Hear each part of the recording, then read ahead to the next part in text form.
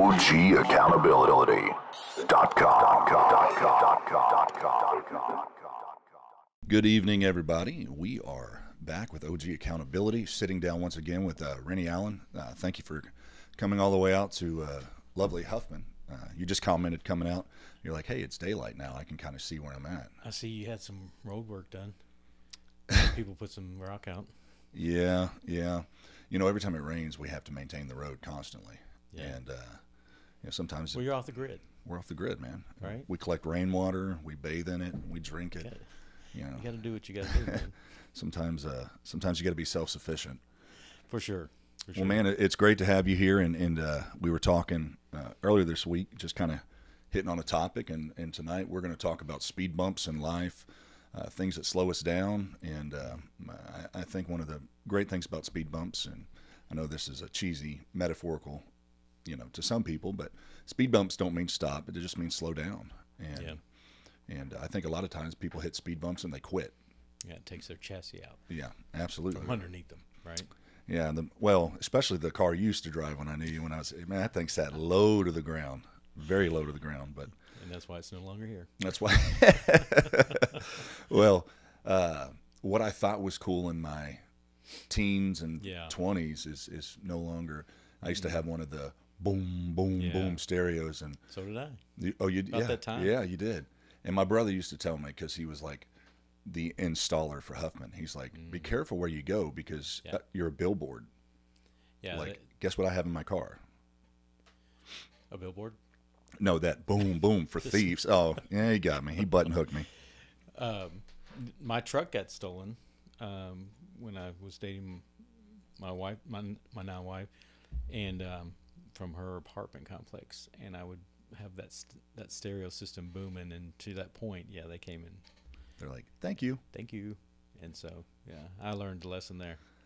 Isn't life full of lessons? It definitely, definitely is.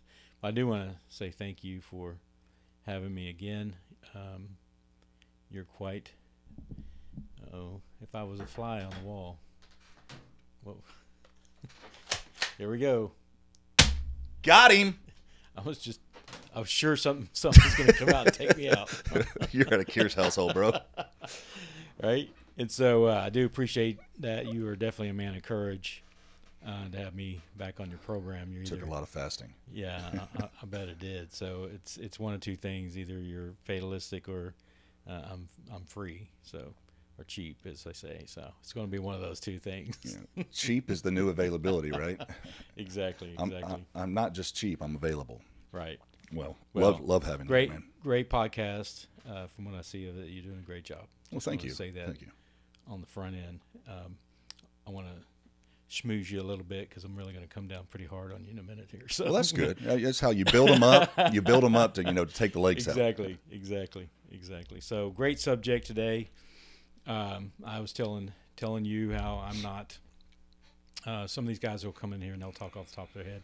I could do that on some things, but I'm a teacher by nature, and and so I, when you approached me again, um, I kind of had some things in my spirit that I, I felt like the Lord um, gave me for this moment. So uh, hopefully it'll it'll meet your expectations. But uh, this is something that's near and dear to my heart, and and uh, you know how I just think about how life is such a, a vapor, Yeah. you know, and I think we say that and we don't realize what that really means, right? Even you know we we say oh even if you live 80 to 90 years that's still vapor and it's true it is but sometimes it's even sooner than that and that we must always be ready uh, at every moment everybody talks about trib the trib you know, pre post mid got all kinds of tribs no trib extra trib double trib Yeah. Well, it, your your trip could be tomorrow. Exactly.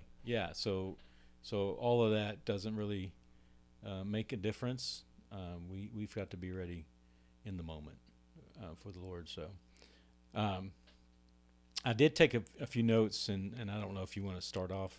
No, take the liberty, man.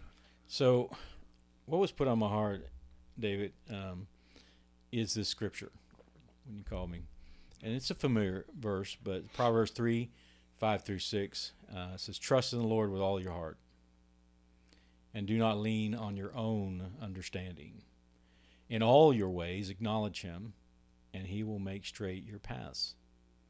And I thought about how you talked about speed bumps in our life and how often that can, you know, knock us off path or, or even derail us, if you will, or stop us or keep us from moving forward.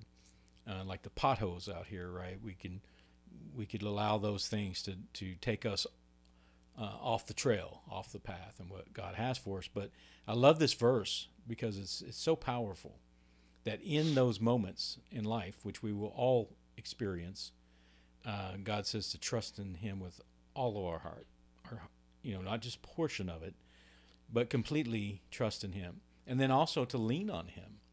And, and I think that those are easily read and hard and not as easily done. You know how do how do I trust Him with my whole heart, all of it? Um, we're not good at that. No, Uh, no. yeah, not at all.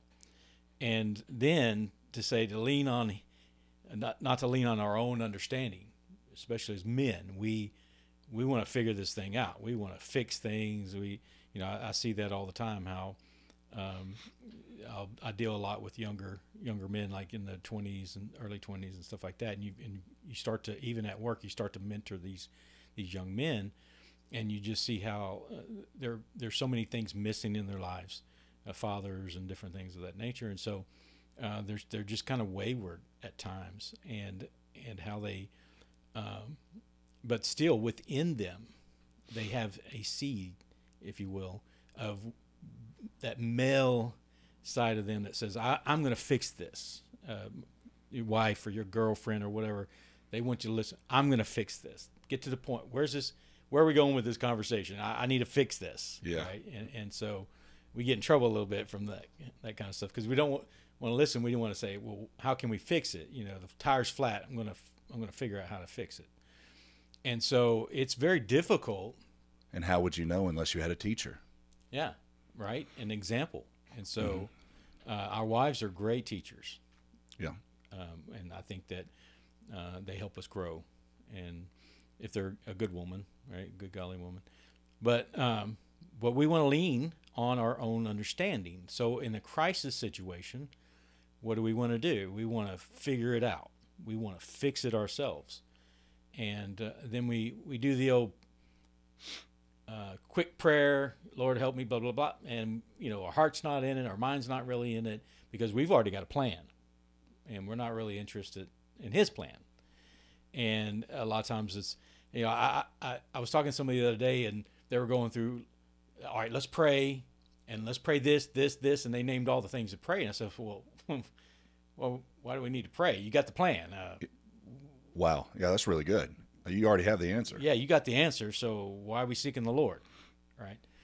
And so, um, Most people couldn't handle what you just said just now. yeah, Most people they would say, "Well, he does, he's not a man of God. He's not spiritual. He doesn't care about people." But yeah, we do that a lot of times. We come with the answer. Yeah. Well, along that line, uh, David, I think that at times we need a little tough love in the kingdom. We do. Um, and so at times we need to say, I, I don't know if I shared this last time I was here, and, and it's kind of off the pat, um, the subject, but I think it's important. I think I might have brought it up uh, here once. Does God love me more than He loves His Word? Yes, yes, you did. Yeah, and I and I used that at different places. I was in a Baptist church uh, a few weeks few weeks ago, and I shared that with them, and I could see the shock on their face, and the people were like, "Oh, well," and they got a little ruffled by that. And I let I let the Holy Spirit do its work, and you could see slowly but surely, God's not going to violate who He is. So even in, in a crisis, even in He's not going to change who is it who He is, His na- His nature, just to meet your need. Um, so we have to get ourselves in alignment with Him if we want to get ourselves through these uh, speed bumps, if you will, uh, in life. But um, so in all your ways, uh, acknowledge Him. Okay, so that means in everything I'm doing and all my plans, I'm going to acknowledge Him, and He's going to make this the straight. Uh, he's going to make our path straight, not us. We're, in other words, He's going to smooth this out if we just trust in Him. Now, that doesn't mean we don't do anything obviously. Absolutely. I think Um, sometimes think yeah. people think God's just going to come and do it all for me. Right. Well, no, He's going to use your hands to do it. You're going to Yeah. have to get up and you're going to have to change the tire. You're going to have to get through your mess, Exactly. and and you're going to have to do that while leaning on Him. Right. whether in success and failure, uh, no matter what you're going through, if if you are expecting God to intervene, He will through your action. Yeah. So it is the uh, to your point there. It's it's leaning on him, uh, but it's also while I'm doing, I'm doing something, but trusting in him. And people say, well, what's the difference? Well, I can I can do and not trust in him. The the easy part's the doing. It's the trusting part that we struggle with, right? Because mm-hmm. again, back to control. We've got this thing figured out and it's not going according to our plan. You know, the poet Robert Burns wrote to a to a mouse. He wrote a po- poem to a mouse. I don't know if you're familiar with this. No, no, I'm not. And so you you you're familiar with this this uh, saying. It says, "The best laid plans of mice and men often go awry." yeah. You familiar? Oh, I? I am familiar with very that. familiar with. Yes. So he writes this. Robert Burns writes this poem, uh, and, he, and in there he says the best laid plans of mice and men often go awry. Well, he was working in the field at his farm, and uh, and he disturbed the nest of a, a mouse, and and he felt really terrible about it. So he writes this poem as almost an apology to this mouse. I'm right? sorry, Mr. Mouse. I'm sorry, Mr. Mouse. It's so you know, um, he he uh, disturbed this mouse's uh, winter home, and he felt horrible about it because now that's the place where this mouse is going to survive and and you know and all this kind of stuff is going to nest there and whatever. And this mouse really worked hard and kind of set set its nest up and everything and, and all this. And he comes along and you know accidentally just just destroys it. So now this mouse is left dealing with this crisis in its life, and he felt really horrible about that. And that's good, Renny. Sometimes we accidentally do things and destroy things, but it doesn't mean you didn't destroy it. Even if it was by accident, you still did it. It's still broken Still broken. for sure. So it, it's the proverbial expression uh, that's used to signify the futility of making detailed plans when the ability to fully or even partially execute them is uncertain. It's futile. So we make these detailed plans, and often uh, the the fulfillment of that or the completion of that is uncertain. Yeah. Okay. And so, so Burns is writing here and saying, "Look, I know, Mr. Mouse, you worked really hard. You did all this stuff. To your point, David, I didn't mean to, but life happens. Yeah, yeah. Things happen. And so this mouse had all these plans, and something out of its control came along and changed all that. And so uh, I think that's what we do a lot of times too, right? We just we we try to figure it out. We get a plan, and then things don't go the way we expected them to. Boy, that is when you think about where you're at in life and things happen. I always go back to that scripture. It's going to rain on the just and the unjust. You're going to have things. Life happens, Yeah. and and it's it's those speed bumps. If you a don't have a plan, and you haven't gone through the the process of putting a plan together, Right. I mean, think about when we're in school. We have fire drills. I remember when they used to make us get get under our desk, or they'd take us out in the hallway and we'd put our books over our head in the hallway. Like, what is this going to do if a five thousand pound beam comes crashing down on me? But life happens, and a lot of times when life happens, we completely throw the plan out the window because it wasn't what we expected. Yeah, yeah. Our expectations. Uh, I think another good scripture along that lines would be James four thirteen through fifteen. So it's come now, you who say, Today or tomorrow we will go to such and such city and spend a year there, engage in business, and make a profit. Okay. Yet you do not know what your life will be like tomorrow.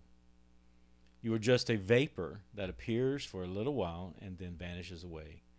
Instead, you ought to say, If the Lord wills, we will live and also do this or that. And that's a that's a shift in a believer's life. You know, uh, how do you tell a mature Christian? Okay, they've been through some things and they're still around. That's a big deal, right? You're still here. You're still in the fight. You're still you're trying. And so also I've I've learned to go, okay, God, I know this is what I want to do, but what is your what is your will? And as cliche as that sounds, I don't think people I think people say that, David, and they don't really mean it. Right? And getting getting to the place where we stop saying things in our prayers and start believing what we're saying is is transformation, change in our life. And so we, we run around, we say all these things, but we, do we we know in our heart we don't agree with what we've even just said often. It's double double mindedness, right? We we keep we keep that uh I think as as believers we kind of sometimes keep those uh little scriptures on the back burner to help us when we're not really doing what we're supposed to be doing. Justify. Yeah, we well, we're really good at justifying. I mean, that's human nature. Yeah, for for sure. I, I never do it though. Not me. I know I, people that I have. have heard of it's, these. I read about it. exactly. Um, you know, I, I think about that, and I, I think about the saying that we've all heard before uh, to prepare for the unexpected. We, we hear things like that, right? Well, by definition, it, it would not then be unexpected. right? You can't plan for everything. You can't plan for right. So so it's not that we don't plan, as you were saying earlier. We have to plan. But we have to remember that God is sovereign over our plan and that we can lay it out, as you were saying earlier, we can lay it out, and I think that God wants us to be involved, and in, in, you know, uh, and we'll read a scripture in a second where I, I, I believe this um, supports what I'm about to say. God wants us to be involved in the planning and all that, but also remembering that He is sovereign. And it comes back to that question I ask the churches a lot of times: Is, is God love you more than He loves His, his Word? Right? It's like all I'm saying to him is put yourself in right perspective. Okay. And I think the problem is what we have in, in our life, David, is when we have speed bumps in our life, we we've got ourselves out of perspective and and and out of alignment, and so so we struggle. Oh yeah. No, I'm just I'm thinking about things in my life. I'm agreeing with you. Yeah.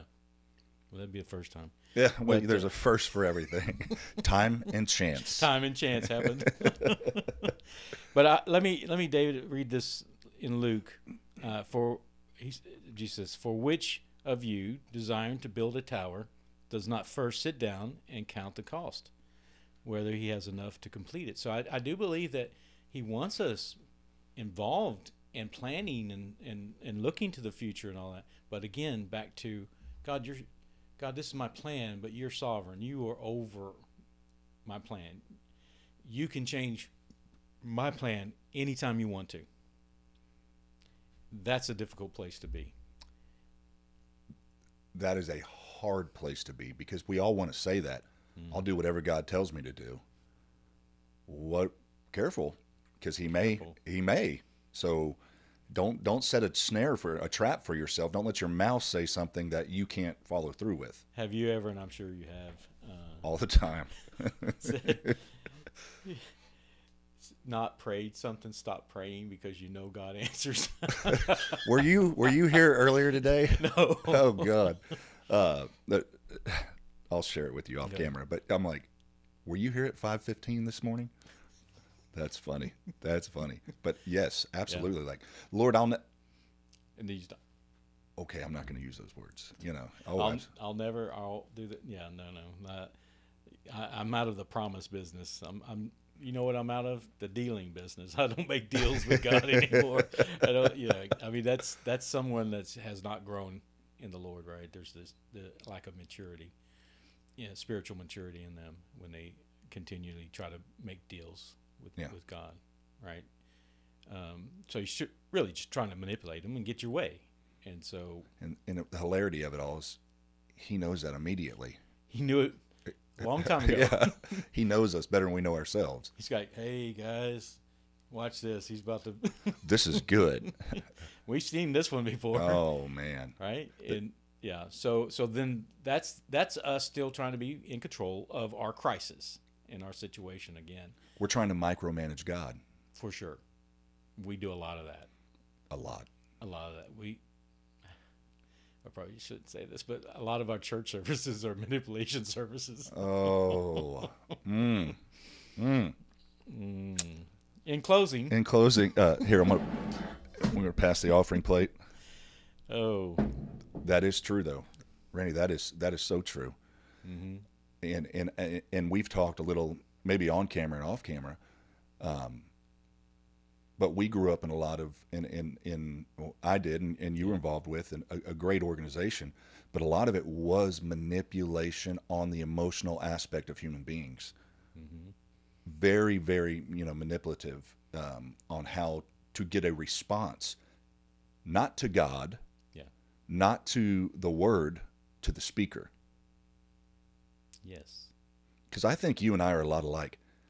I'm going to give people respect, but if I'm not digging what you're saying, a it's not for me. But I'm not gonna. I'm not running around. I'm not. I'm not hooting and hollering for you, bro. I'm not. And and somebody And even- else may. even if it is good. Okay, it's gonna, right? yeah, Uh, so yeah, we're very similar in that way. we're kindred spirits there. I'm, I'm just not. I'm just not giving it up. no. But uh, so I, I was thinking, uh, David, on earlier today um, about life's interruptions, right? And and life is going to have them. We're going to have interruptions. We're going to have a plan, and we're going to have a flow. Life is a flow. It has progression to it, uh, and so we expect certain things to happen, as we well know. Uh, you get you know engaged and married and you have kids and you grow old and you know the cycle right and all that kind of stuff and we have expectations of these things and there's a flow to it and when and, and a progression of it and when that gets interrupted and things move around that's a very hard thing to deal with and uh, it's easy uh, to be an unbeliever because they don't have to search themselves they just react to the flesh all the time right? We on the other hand have been transformed and have to stop ourselves and uh, and look introspectively like check our check our spirit and our, our motives and everything else. And there's so much more that goes on when you are a child of, of, of god is you have to check yourself so much of the time. Why am i really saying this? Why am i really doing this? And and if you're not doing that continuously you will struggle in in in the interruptions right? Because it's like okay this is not working to plan. Back to well god's not sovereign over my plan. And so now i'm going to be frustrated and angry and bitter and and then that's how people get mad at god because it didn't go their way and they blame god for for this and that and the other thing. My my plan didn't work out, so it must be God's fault. yeah. And God's like, whoa, hey, and you know several people as well as I do that do not serve God anymore because they had an interruption in the flow of their plan and, and the progress. It was, so so we move from one event to the next in our lives, and and uh, and then we have these expectations for each one of those events that we have, and we we do a lot of compartmentalizing and working and planning. We're I see chess up here, chess pieces up here I'm a chess player, bro. This, and most Christians are. We're just we're moving pieces around, right? And we're sacrificing pawns, Exactly. right? we sacrifice little things and hold on to what we think's important. For sure. Man, I felt that. Hmm. Did you feel that? You want me to play? You need some background music? but it, is so true. Yeah. I mean, we we. Oh, I can. I, yeah, uh, that's what's that? What's this? What's my integrity? Yeah. Ooh. Ooh, What's my? Come on, so, come on! You're taking a page out of my book. You know, there's there's things we run to. You know, what's that song? We've all run to things we know aren't right. Hmm. All of us. Yeah. And in doing so, you really are sacrificing little pieces of your integrity. Yeah. And if you want your integrity back, you got to go where you sacrificed it. You got to go back. It's good stuff. You got to go back and get it. Wow. And and that's most of us avoid that because we don't want accountability. Right. We just, well, whatever, what's that? And we just keep going. Yeah, I, I, I said something the other day uh, to some folks, and I love how we as Christians um, see God's blessings and everything sometimes. so I was telling, I It's said- a sign. yeah. So I told him uh, uh, to this church I was preaching. I said, "You walk out and you realize the girl at the, the counter gave you extra twenty, and you're out in the parking lot." And most Christians nowadays say, "Oh, thank you, Lord. I have What a been blessed." blessing." She lost her job. yeah, I've been blessed. yeah. And, and so I, I challenged them to say, and, and I've done this myself many, many times where, because it's easier to just say, "Ah, I don't want to get back in there and all that kind of stuff. But in that moment, the little bits, the little pieces, you, you say to yourself, you know what, I need to go back in there and just, hey, you gave me too much change. And uh, not that, I mean, maybe that's a small thing, and there's great things. We all fail at different things, but sometimes it's those little small things that chip away at us. To to your point, Yeah. right? We've sacrificed sacrificed all our pawns. What are we down to now? We go start getting rid of some bishops. The things that matter. The, I mean, the, the, the things that, you know, I, we can look at the pawns. as Hold the kingdom together, right? the day to day things, but once you once you don't realize what you're giving up, and then you have nothing left to give, Yeah, all you have left to give now are the very important things in life. yeah, And are you going to jeopardize your integrity for those things? that's good stuff. And if somebody's listening and you can come back, if you hit a speed bump, Oh, for sure.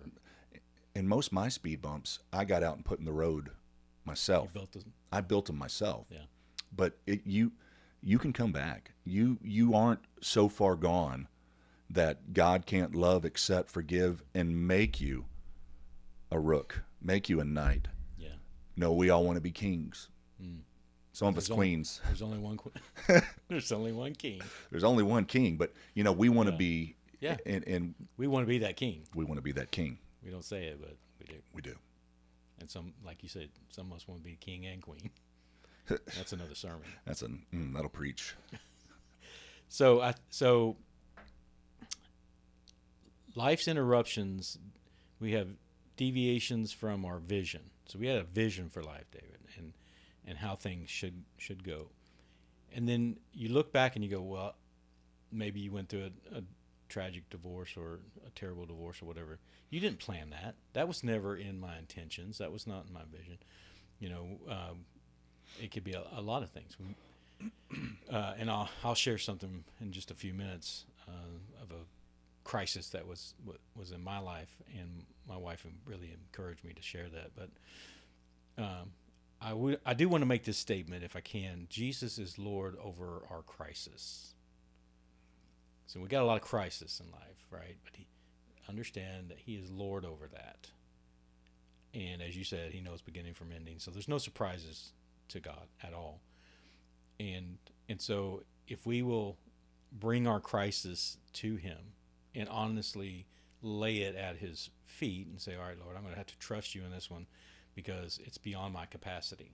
Um, I, you know i mean there's some things that you know we can handle we can take care of. God doesn't need to you know wipe our rear end all the time. You, you understand what i'm saying? And so but there's some things we need to go and say hey lord this one's this is beyond me and i'm going to have to trust in you. And and sometimes we wait way too long in that process. We should start a little bit sooner. But I think about Jesus and how he was he, he heals the demon on one side of the lake, gets in the boat, goes to the other side of the lake. He, his foot's not even on the ground yet. And Jer- Jairus is running up like, I got a crisis. No, there's another crisis. My my daughter's you know um, dying and she's at home and she's on the death door, death's door. And so Jesus, in the flow of the direction, so he comes out and he now now his he's been his flow's been changed, if you will. The direction's been changed. So now we got this new crisis. So he's heading in that direction, and what happens? The women with the issue of blood, she reaches out and touches him, and so he said he stops immediately. So now that flow has been impeded. Here we go again. We just had this crisis over there, getting a boat. Can't get my foot on the ground. Got another crisis. What next? yeah, Yeah. it's like now I'm walking along and boom, here's another crisis. And so and and then for Jared, they then the uh, the word comes back, the daughter dies, and and and uh, Jesus isn't phased, right? We, we, so we know the story. Like he he's he is life, and um, so he goes from so the, it's from crisis to crisis to crisis, and yet each crisis is turned into a victory. Every single one of those crises, and and so uh, Jesus didn't show up when Jairus won it, right? He he showed up on time, On time. on time. And Randy, this just popped in my head. God comes to us in love. He said, if you go to the highest mountain, there my spirit is. If you go to the depths of the he- hell, my spirit's still there. God's already to us. We have to bring our crisis to Him. That's what everybody did. Yeah, that's a good point. They brought their crisis Every one of these, yeah, to Him, right, to the answer. yeah. So so again, we bring our crisis to Him, knowing He is Lord of the crisis, and that every crisis He deals with turns into victory. And we got to remember that that yes, you're going through a crisis right now in your life, and some of them are real. We're not talking about small. Some people get upset about very silly things, but there are real crises that come into people's lives, real dilemmas uh, that in 50 to 100 years nobody's even going to remember, are they? And so, Some of it's five days. right, It's not even a big deal anymore. five we- minutes, Yeah. you- people can turn around like that. and Say, oh well, look at there. I was worried about nothing, Yeah. Made a mountain out of a molehill. right? But th- we don't do that part of it because we just keep we go on. Yeah. Just keep moving. Yeah. Well, he took care of the crisis. Hey, great. Let's go find another one. because there's one waiting on me. There's one. Oh, it's there. It's it's there. It's going to be there. So so I, I wrote a little something here. Crisis is the incubator. Uh, excuse me. Yeah, crisis is the incubator of chaos. So here's the definition of crisis: a time of intense difficulty, trouble, or danger. And the definition of chaos is complete disorder and confusion. So you can have a crisis without chaos. But most of our crises include chaos with them. Why? Because we don't have a plan. We we're not again, we're not ready for the next crisis that comes in. Um, so I, I think about uh, 9/11, and in my industry, um, we deal a lot with um, ICS, in, in, Incident Command System, and how uh, 9/11 led to the incident command system being implemented in the country because what happened is we had a crisis, planes hit towers, and then we had chaos. Who, you know, this department can't talk to that department. They got issues, and so I think that you know there could have been more people saved, but there was a lot of chaos that was going on in this crisis. As you can well imagine, we've never faced anything like that. Nothing that. like that had ever happened before. Yeah. So, so we we learn from our our, crisis, and we come up with ways of mitigating chaos. And that's what I think as believers we should be doing also is that yeah we've been through we may face some crisis but we've got an incident command system right that we have now formulated and and have a plan you can't address everything but at least at some point when the crisis hits we don't all go crazy in chaos.